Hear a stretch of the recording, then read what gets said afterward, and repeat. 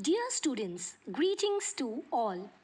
In this module, we'll be continuing with our ongoing chapter of chemistry, chapter 1 Chemical Reactions and Equations. We will be discussing about the various types of chemical reactions. Firstly, we'll talk about exothermic reaction.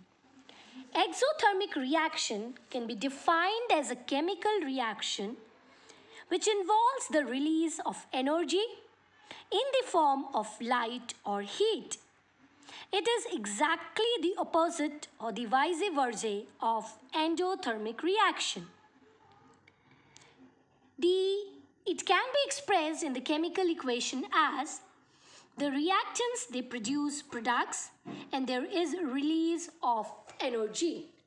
Respiration is an example of exothermic reaction. Iron gets oxidized from iron oxide. The process of making of ice cubes. These are the examples of reaction which are exothermic in nature. Burning of natural gas is also an example of exothermic reaction. Now let us talk about endothermic reactions. Endothermic reactions require or take energy so as to proceed or for the process of completion of the reaction. The energy required can be provided in many forms, but generally it is in the form of heat. The examples of endothermic reactions are photosynthesis. In the process of photosynthesis, there is formation of glucose, utilizing carbon dioxide, water and the energy of sunlight that is photons so that this light energy gets converted into chemical energy and there is production of carbohydrates. Melting of ice is the other example of endothermic reactions.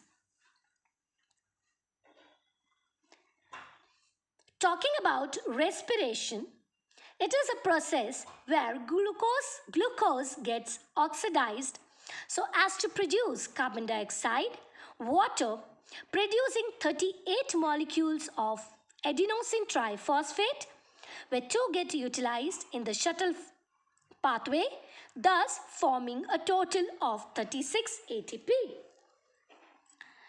So, respiration is also an example of exothermic reaction. Both aerobic as well as anaerobic respiration are exothermic in nature.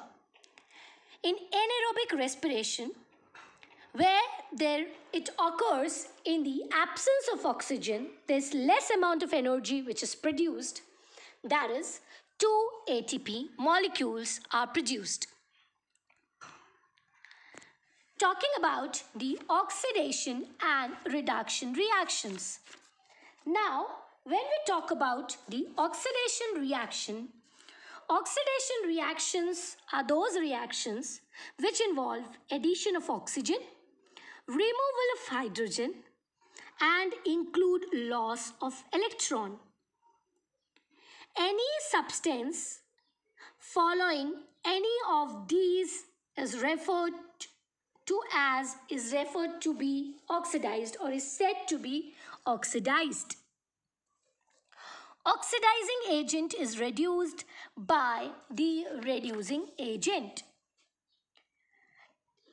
When we talk about reduction, it is exactly the opposite or vice versa of oxidation, which involves addition of hydrogen, removal of oxygen, and there is gain of electrons. Oxidizing agent is reduced by the reducing agent, whereas reducing agent is oxidized by the oxidizing agent. Let us talk about few reactions which involve both oxidation and reduction. Such kind of reactions are referred to as redox reaction where this red stands for reduction and OX for oxidation.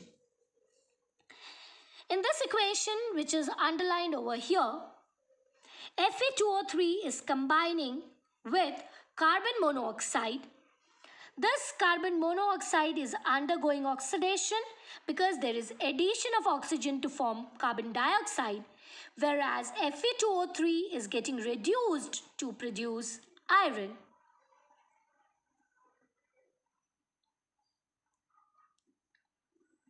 So, when we talk about oxidizing agents or oxidants, they are the substance which oxidize other substance or they provide oxygen.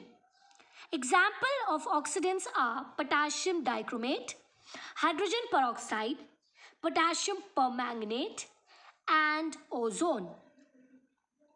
Potassium dichromate that is acidified potassium dichromate it provides oxygen, nascent oxygen, and helps in the conversion of ethanol to ethanoic acid or acetic acid.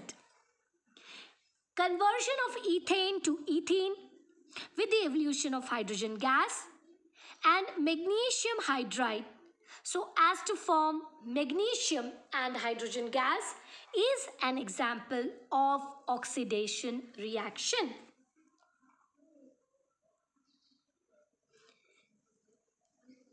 The reduction, the example of reduction reactions involve the conversion of vegetable oil into ghee and the conversion of CuO to produce copper and water.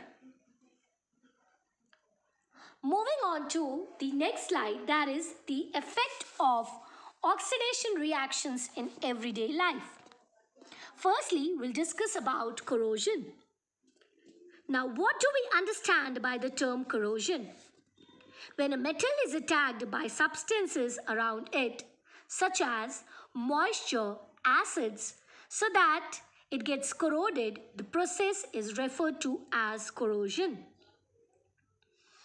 Example of corrosion includes rusting of iron, tarnishing of silver, the black coating on silver and the green coating on copper are some examples of corrosion. Corrosion causes damage to car bodies, bridges, iron railings, ships and to all objects made of metals, especially those of iron. Corrosion is a serious problem because many articles around us are made up of iron. Every year, an enormous amount of money is spent to replace the damaged iron. So, rusting of iron can be prevented by painting, oiling, greasing, galvanizing. Galvanization is a method of protecting steel and iron from rusting by coating them with a layer of zinc. Now, have you ever tasted or smelt the fat or oil containing food materials left for a long time? When fats and oils are oxidized, they become rancid and their smell and taste changes.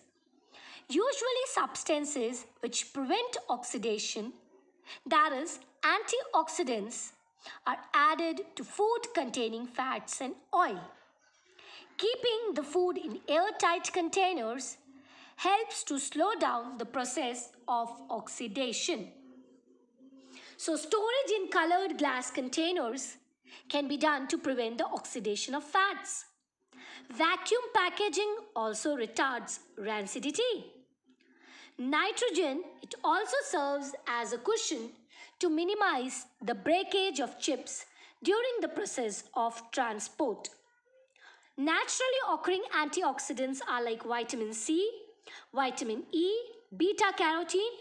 They can be used as protective agents against rancidity.